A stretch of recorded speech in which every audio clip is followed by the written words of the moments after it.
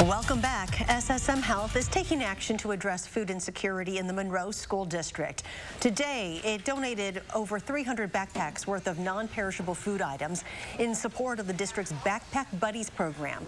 The program provides weekend food for students who rely on school meals to fulfill their weekly needs. It makes us feel good to know that our kids are being taken care of, and I think it represents the community of Monroe that they're always stepping up.